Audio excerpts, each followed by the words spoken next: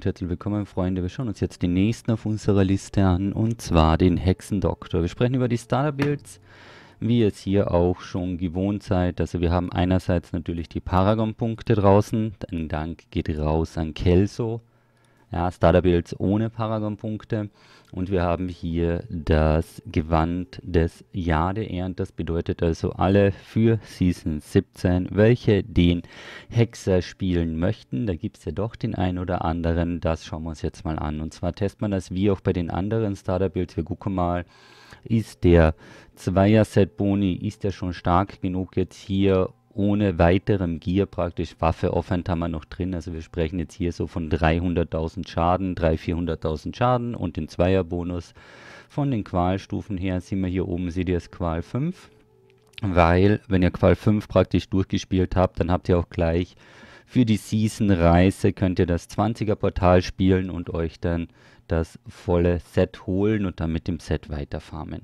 Season 17 ist jetzt ein bisschen spezieller, weil wir haben eine Long-Season, bedeutet also für jedes uralte Item würden wir mehr Schaden kriegen. Das bedeutet, jeder Starter-Build muss sich damit messen, ob es sich lohnen würde, diesen zu spielen oder ob es effektiver ist, einfach hier direkt auf die uralten Item zu gehen und keinen weiteren Set-Bonus anzuziehen. Also schauen wir mal. Das gucken wir uns mal an. Also hier den Powerschrein, den lassen wir gleich mal aus. Der Zweierboni, was macht? Heimsuchung, den Gegner trifft, der bereits heimgesucht wird, gibt es sofort Schaden. Also das bedeutet hier auf Heimsuchung läuft das Ganze raus. Also schießen wir mal rüber.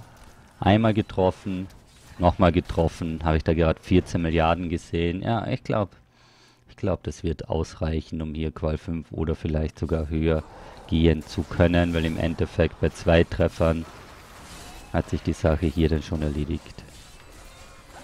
Und das zieht die ganzen Gegner dementsprechend auf. Ist schon mal ganz nett. Ist schon mal ganz gut. Also wenn die Skillung schon hier mit Weiß ähm, alleine durch den Zweierboni funktioniert, sieht das schon mal ganz, ganz gut aus. Mana-technisch kann es noch ein bisschen knapp werden. Mal gucken, ob wir hier die richtigen Runen haben.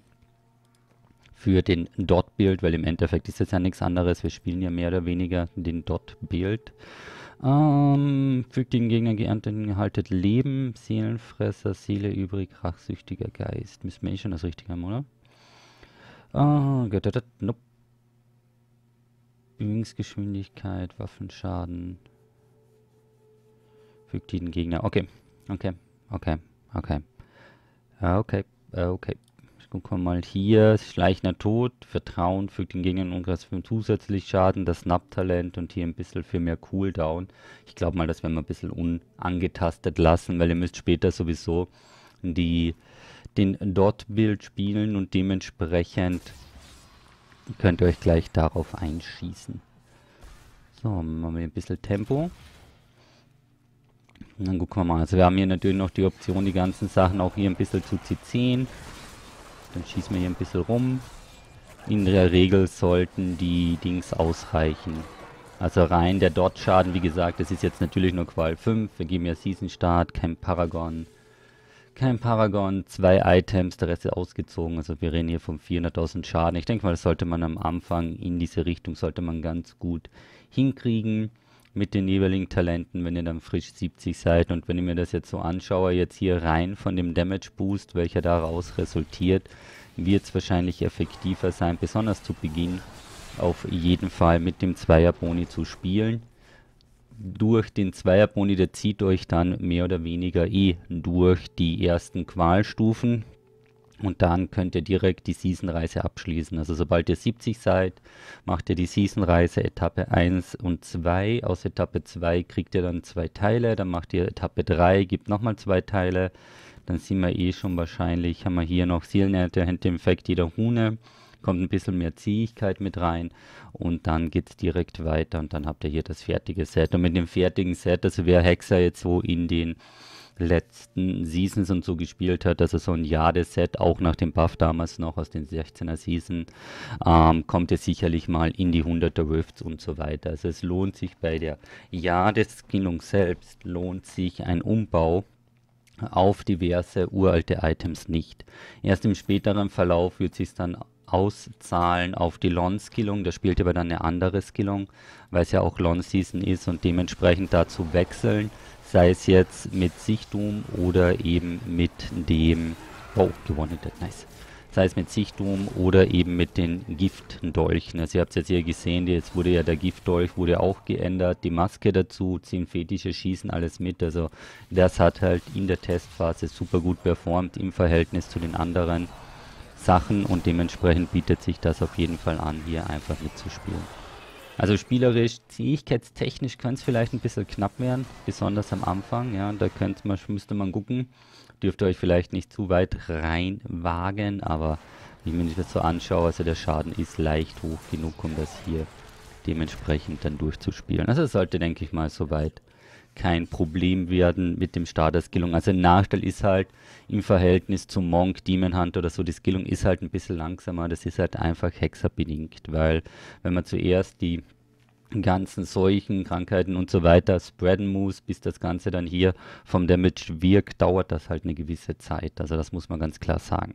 Wir nutzen hier, ich habe jetzt hier noch mit Ingion gespielt, könntet ihr mit reincuben, also später mal geht es dann auf jeden Fall mit dem Schmelzofen weiter, damit der Elite-Damage hoch genug ist. Wir haben die Maske drin, ganz wichtig, und wir haben Ring der Leere.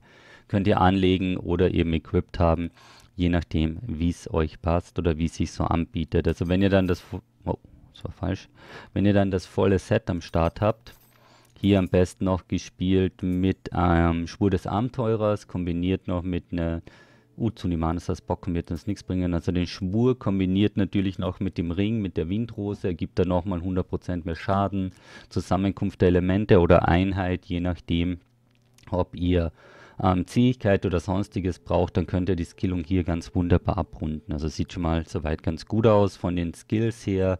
Altbekannt, Heuschreckenplage, Pestilenz, dann haben wir die Piran Piranhas mit Piranado, damit wir die Gegner ein bisschen positionieren können, weil beim Dot-Bild funktioniert auch der Flächenschaden sehr gut und wenn die Gegner dementsprechend zusammenziehen oder zusammengezogen werden, profitieren wir auch direkt vom Flächenschaden. Geistmann mit Entrückung, hier könnte man vielleicht ein bisschen nachhelfen. Zum Beispiel auf Ehrengast. Ich glaube, das könnte besonders am Anfang ganz gut sein. Das war auch das Talent, was ich vorhin gesucht habe. 20% eures maximalen Manas. Also jedes Mal, wenn wir das anmachen, ist unser Mana wieder voll. Das sollten wir vielleicht am Anfang mitnehmen, damit es keine Ressourcenprobleme gibt. Dann hier Heimsuchung mit hasserfüllte Geister, die Seelen, Ernte, da ist dann eh alles aktiv. Und hier Entsetzen, grauenerregender Anblick ist ein bisschen so der CC-Effekt, damit uns die Gegner nicht gleich verprügeln, kann man das dementsprechend noch ein bisschen abwehren. Ritual des Vertrauens, schleichender Tod, Gefäß für den Geist und des einen Leiter rundet dann das Ganze hier in der Skillung nochmal etwas ab. Also im Endeffekt ein Dot-Bild zum Starten ist gut, ja. Nicht die schnellste Skillung, muss man ganz klar sagen, aber erfüllt die Aufgaben, ja. Erfüllt die Aufgaben, ermöglicht eine einfache Season-Reise, ermöglicht es auch in den Greater Rift sehr gut voranzuspielen. Also wenn sich die, wenn ihr euch denkt, ja okay, vielleicht möchte ich gar nicht so, das Long-Season-Thema interessiert mich eh nicht so, habt ihr hier schon mal eine ganz gute Wahl. Also damit werdet ihr dementsprechend nicht gleich von Anfang an konfrontiert. Ich blende euch aber trotzdem hier links nochmal den Best Build ein. Das ist dann halt nun mal die Long-Skillung die zahlt sich dann halt erst bei 100 plus oder so aus, aber für alle, die es mal anschauen möchten, warum nicht? Ne? Könnt ihr gerne einen Blick riskieren. Ja, Freunde, das war's jetzt. Starter, wie immer, Guide ist unterhalb verlinkt für die ähm, Skills nochmal, für die Bisslisten und sonstiges. Da solltet ihr euch dann auch ganz einfach zurechtfinden. Wenn es noch irgendwelche Fragen gibt, ab damit in die Kommentare und ich wünsche euch wie immer viel Glück, viel Spaß und bis zum nächsten Mal.